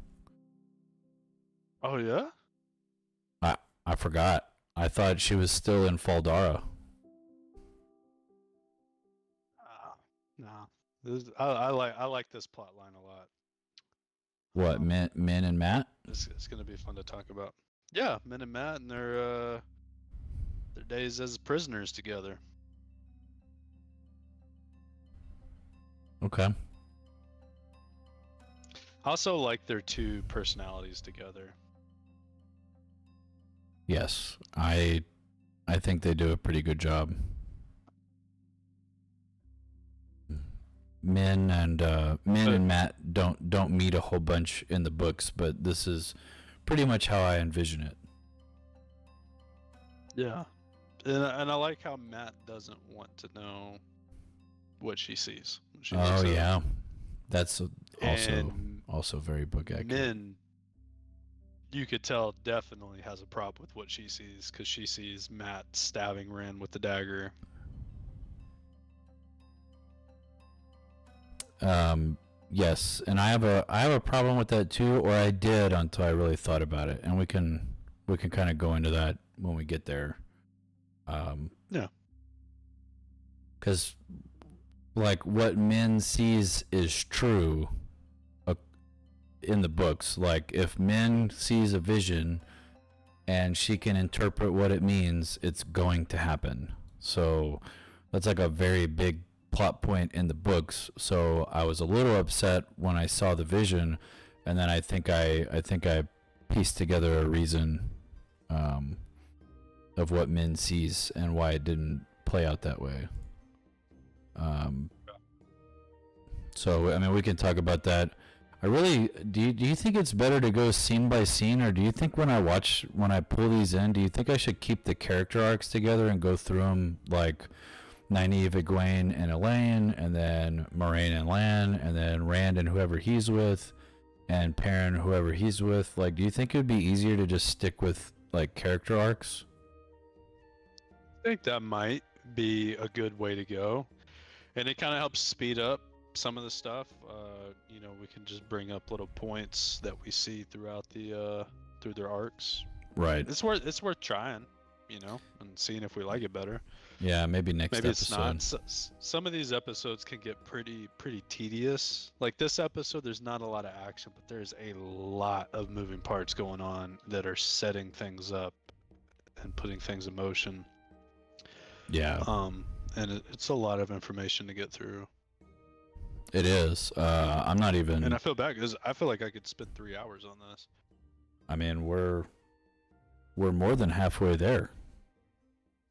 Yeah, no, I'm aware. I don't have three hours to spend on this, but I I know that I could, talking about all this information. Yeah. Um. So. I mean, I'll, I'll think about that for next time because when I take these, it doesn't matter to me how I organize them. I just put them in chronological order because to me, it's easier. It's just easier for me to do that. But I'm realizing as we're talking that we're kind of bouncing back and forth, uh, just like the show is doing. I think it might be easier to consume if we talk about like this is Rand's story arc in this episode. This is Moiraine and Lan's story arc in this episode, and then you know it, we we hit on the high points and move on, and then we can come back later if we want to. I, th- I think that that's better because it Yeah. allows us to get through the story much faster. Because I feel like with our current format, we're being a little too tedious. Uh, in that, like scene for scene, picking each thing out rather than covering Right. the arc, like you said, and then it allows us time to give our opinion about what we think happened and, and where we think the thing, where the arcs are going to go, uh, versus trying to dissect every single scene. And A lot of times, I mean, there's there's a good point in each scene, but like not everything needs to have a discussion about it. Um, I mean, you could have a discussion about everything, but I don't think it needs to. No, I, don't think so either. I think it's um I mean the alternative to doing the the character arcs uh, grouped together would be like if we see this we just say ah, skip this one. You know, because I I don't have anything to say about like this scene, for example, other than it's a reference from the book and a reference from the prequel. And you know, I like that they talked about it, but it's not really like a plot mover. Other than to set you up for, other than to set you up for what Moiraine's about to do to Lan. Yeah, emotional damage, mass Yeah. casualties. Emotional damage. And I'm not a fan of it. If we move on, never talk about Moiraine again, I'm good with that. Aw, come on, man. She makes a cool dragon at the end. Yeah. Um, so uh, now that now that Min and Mat have uh, teamed up, they apparently have made a gigantic hole in a very short amount of time. Uh, I guess um, Min being from a mining Teamwork village. makes that dream work. I guess so. Uh, I don't know, but they they have a they have a pretty good in, like conversation with each other. Min like shares her wine, which means that you know she's being treated better than Mat is, and I didn't um I don't really have anything else to say other than like the you know she has that vision of Mat right before she gets out and she doesn't she doesn't like what she's what she's seeing but we don't we don't know why Correct. she's just upset um okay wouldn't say I so much to add to that. Hmm. so do you want to hear my my janky tie the book to the show uh hot take on why this vision is untrue or why it doesn't come true Sure. Um, so in this vision, Mat is holding the dagger and then stabs Rand. Right? Yep. So to me, the vision should have been, or no, the Min's interpretation of the vision is if you hold the dagger again, Rand will die. Like that's that's my interpretation, which is why the the vision doesn't come true. You know what I mean? Like that's my Yeah. that's that's my that's my hot take cuz if if Min's visions always come true, then something about the vision has to be different for it to not come true. In this case, I don't think Mat ever touches it again. I think he like ties it to a stick or something. Yeah. Yeah, spoiler. Whoops. No, that's a good point. Um, yeah, so here he is stabbing him. Apparently, I didn't do a good job of cropping this photo. Uh, anyways, we're gonna gonna hop back over to uh, Rand and Selene. Does he say her name at all in this episode? I think so. I, think I so. feel like he did. I feel like he did early on. Yeah, I think so.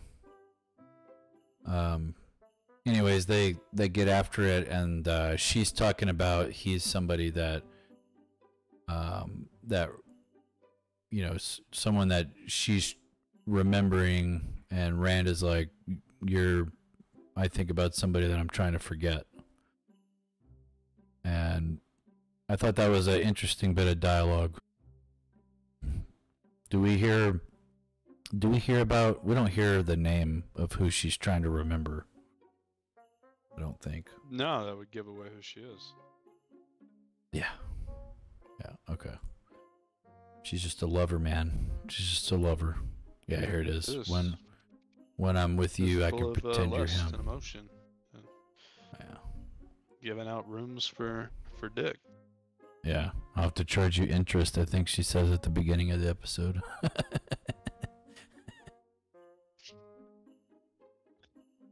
um.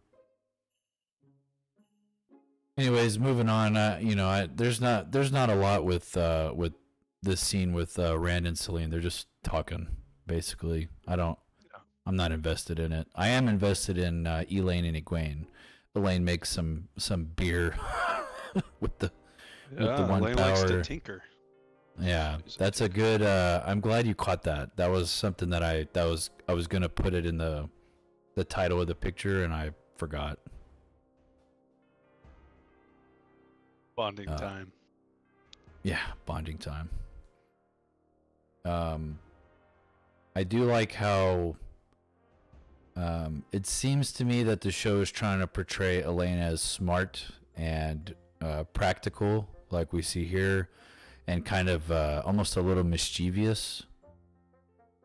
Um, you know, who you can pass this off as being, you know, like to tinker with the power, but ultimately, it doesn't seem like Elayne is much of a rule follower. I agree. Um, so that that's what I gathered here. I think also uh, Nynaeve hears them talking. Not sure. Yeah, here it is.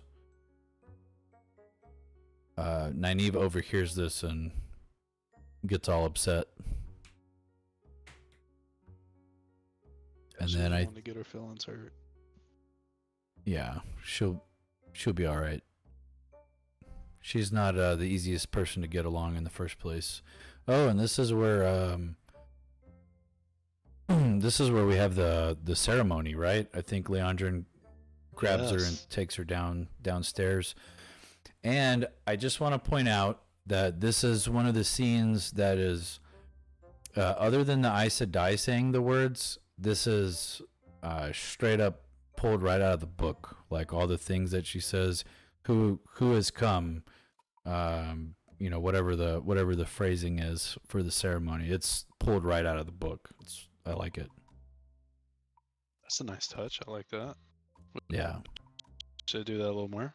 Take it where we can get it. Yeah, I'll take it whenever I can get it. Um, I don't remember what the arch's um, description was. I meant to pull it up before we started, but I got lazy. Uh, but this is this is close enough. Um, I I wanted to look up the lore of it, uh, but one of the things I wanted to note, and I don't know if it's book accurate or not, but this looks like carved out of the out of the earth and like very rough very rough looking and i don't know if like how did they how did they put these here? They didn't construct them. That's something that i i do need to point out. I don't know if they'll address it in the show but these weren't I made. thought they were brought there. yeah they were brought here. Okay so you knew that. Okay. Thought they said that in the show. They they I might mean, have I, I wouldn't trust my memory after this episode, but I'm pretty sure later they talked about in the show how they all do different things, and the these were like ones brought by like the founding sisters or founding somebody, something along those lines. I'm pretty sure. Mm, they're from the age of in the coming episodes. they're from the age of legends so we'll yeah we'll see um and then oh and then we get um Break up. we get the breakup. And my only point here that i want to talk about is Lan's statement here but it takes eight Aes Sedai to cut someone off. And i think that's intended to be some sort of clue personally so i like i like looking for breadcrumbs i think it feels good when i find one and I think this is one.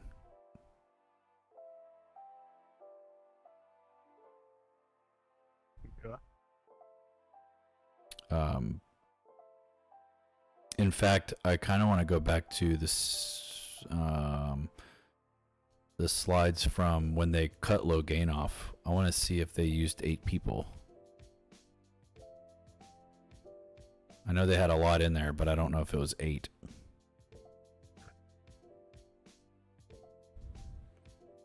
Logain.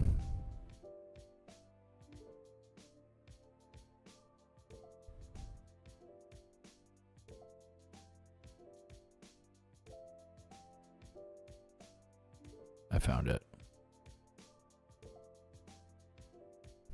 56 slides is a lot, man. I I grabbed a lot from the show this these last two episodes, like a whole bunch. I mean, there's a lot that's that's gone down. Uh, let's see. We've got one, two, three, four, five, six, seven. Look at that. Exactly eight. Imagine.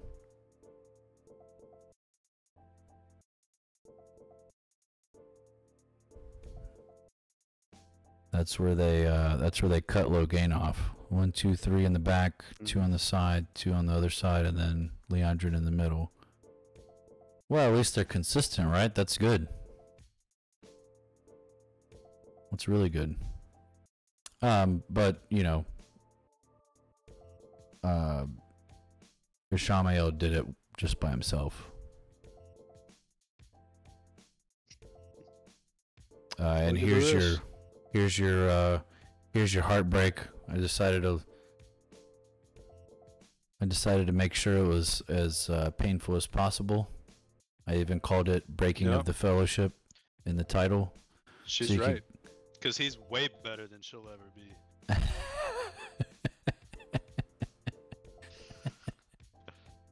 I guess uh, I guess we'll never know since they uh, are not not talking to each other at all.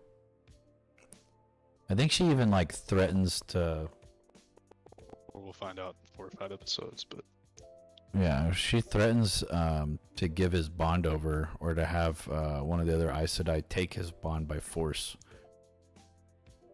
Uh,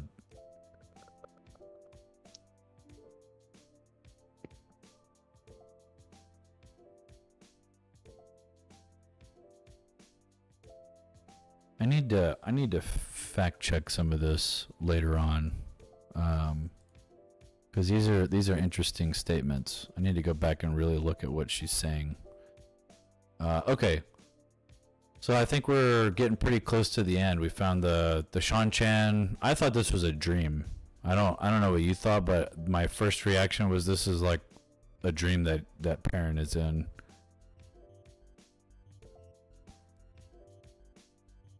yeah, it was uh, it was pretty shocking. I I mean, I didn't think it was a dream just because I felt like they showed them kind of like waltzing into the city through the smoke.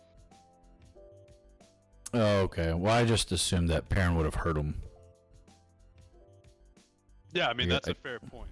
You know, guess I, that's- I was wondering that too, like how they got into all the houses all at once without waking anybody up. Yeah. And in the whole city, there's not a single person awake at night to be like, "Hey guys, intruders." Nope, Yeah, n- nothing. Not a dog. Uh, you could argue that Fair the um, you could argue that the Suldam silenced the the watch, the guards. True. Like, Very true. um, okay, so we have uh, the Seanchan like pulling all these people out, and then we get to see. I don't care what you think about anybody, or think about the show, or think about the characters, or think about how they're not following the books. I don't care about any of that. This was a great fight scene. This gave me uh, f- vibes from the movie 300 with Gerard Butler. This this scene gave me gave me uh, Leonidas vibes, and it was great. Can second that motion. I really enjoyed the fight scene. They they do that well, at least with uh, this group of characters when they can actually put hand-to-hand combat. They they do a terrific job. Yeah. I like um I like Ingtar's like I think that's called a glaive or something. I'd have to look it up, but he's using like the two-handed spear with a with a giant blade on the end. That was pretty cool. And then uh Uno Uno and Ingtar like teaming up together and doing a pretty good job of holding their own. And then um I should have called this this next slide the ballerina man because I caught a picture of Loial being like fierce, but it, the screenshot looked ridiculous. He looks like he's about to do a, a spin, like a ballerina move. Um, but we He's a he's a beast. yeah, we see here that he's pretty strong. I think he like throws a dude like halfway across the town and into a wall or something. And they had like when Perrin first saw him, he had like four or five ropes on him, And I was concerned that they weren't going to depict just how uh, violent Loial is or is capable of being, but I think they did a good job. They did a, uh, I think they did a great job here. It was impressive watching them take all those people on the way that they portrayed that. Uh, and then the party's over. Party's over because the the Suldam and over. the Suldam and the damane show up and uh, knock everybody out.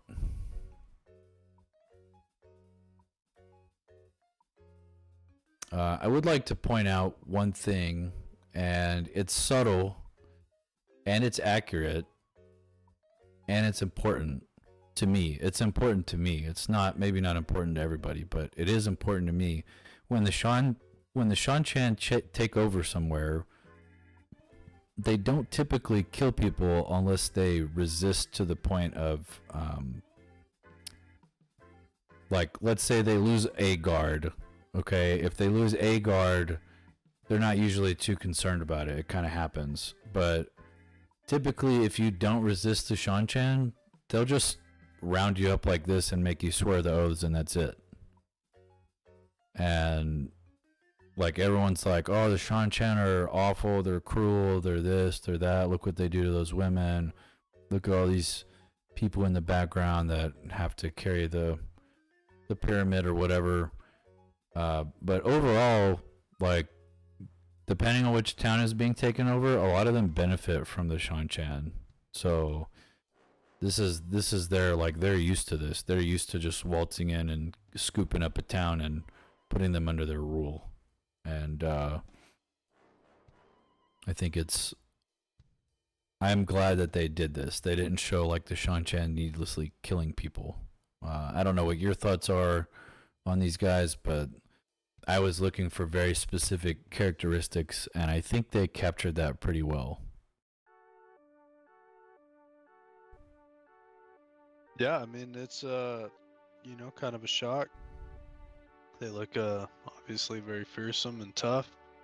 I think that uh, we get a better look at them in the next episode. So whenever we start that out, I think we're gonna have a fun discussion about them. Okay. Um, but yeah, I mean, to me, it just looks like just looks like a uh, takeover, you know, a conquest. And yeah, that's kind of what they leave you with. Yeah. Uh, so we have uh, Ishamael and then I can't remember her name. Um, I don't know if her name is important. I can't remember. I didn't. I didn't look it up.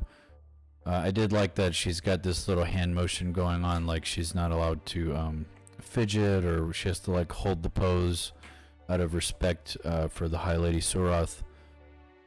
And uh, you know, uh, whether whether I know any information about the show or whatever, you know, that doesn't it doesn't really matter.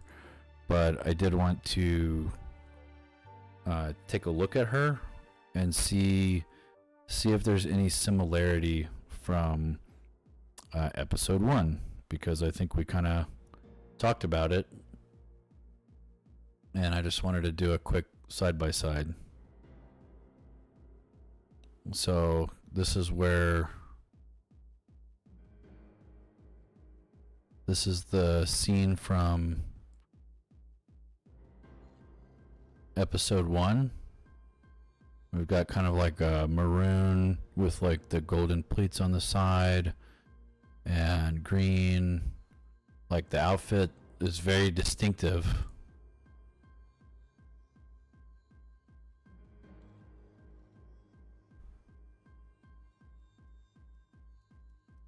Okay, so it's not one for one. So what do you what do you think? It's not the same outfit. Yeah, I think it's her. Yeah, I mean,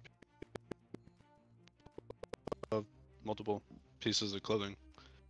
So that that to me isn't uh, a thing that's gonna stop her from being that character. To me, that's who I think it is. That's the only person I've seen with nails like that. So. Okay. Hot take. And then uh, we know this is uh, a bad dude. Well, I think Yes. that's. Um.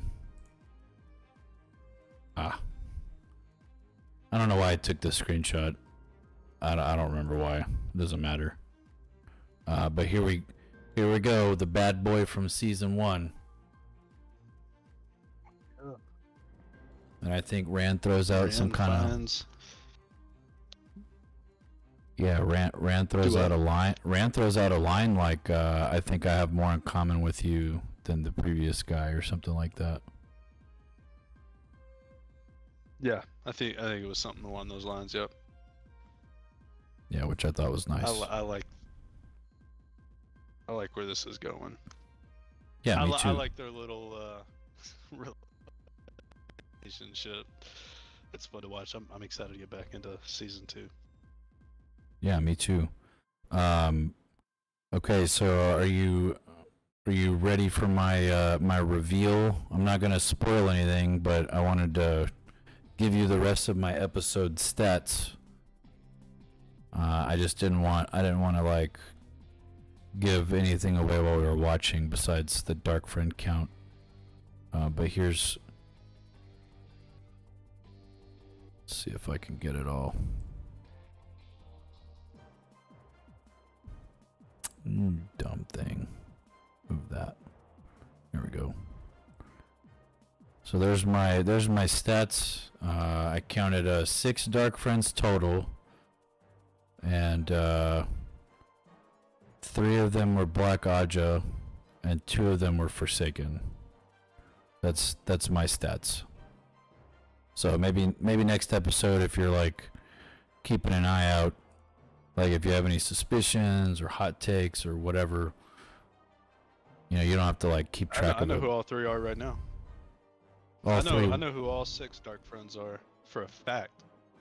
For a fact, I know who they are.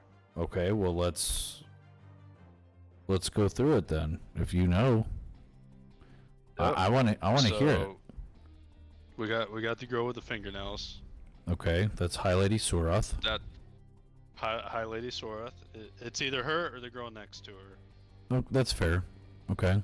One of the two. Uh, it's the girl with the nails, cause yeah. So she's one. Uh, then you got uh, Liandrin. You Okay. have Ishamael. You Okay. have. Ah, forgetting the Forsaken name. I've been saying her name the whole episode. Lanfear. Um, Lanfear. So Okay. we're at four.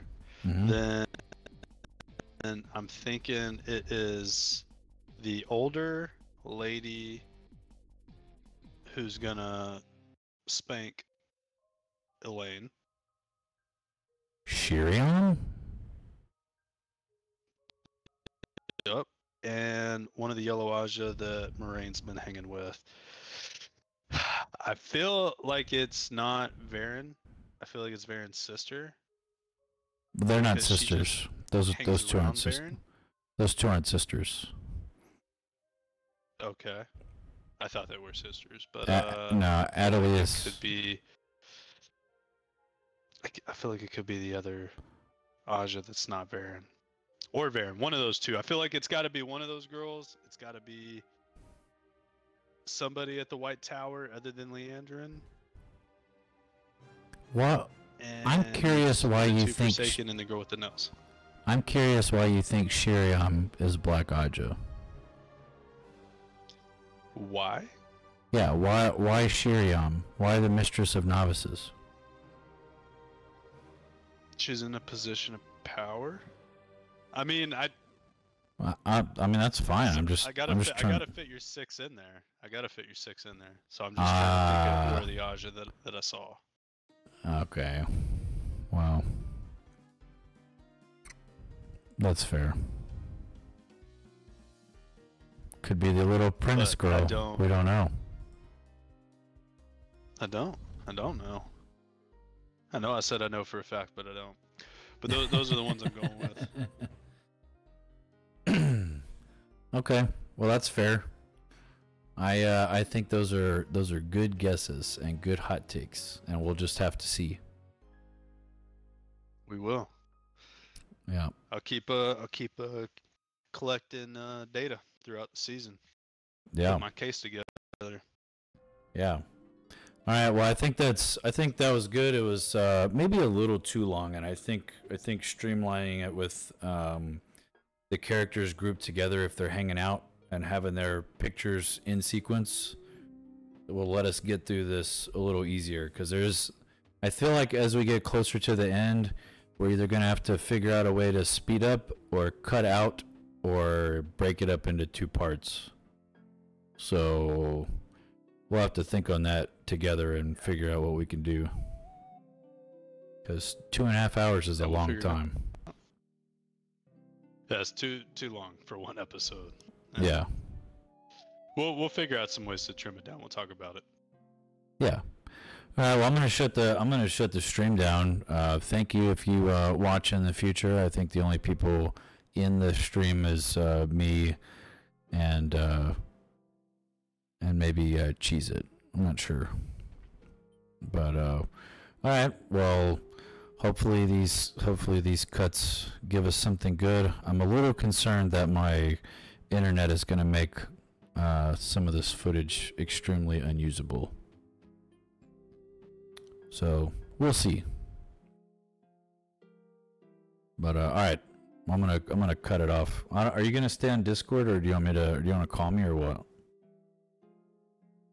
Uh, I'll I'll call you. So I've got Okay. to switch it. Yeah, yeah, me too. All right, I'm gonna I'm gonna shut it off. Thank you if you watched. Bye.